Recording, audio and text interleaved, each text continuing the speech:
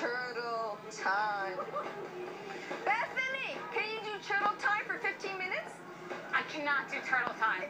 The last thing I want to do is put on my dancing shoes, but we are on a small boat, and I'd rather go to the fat turtle than go back to the boat and have to deal with the crazy toad.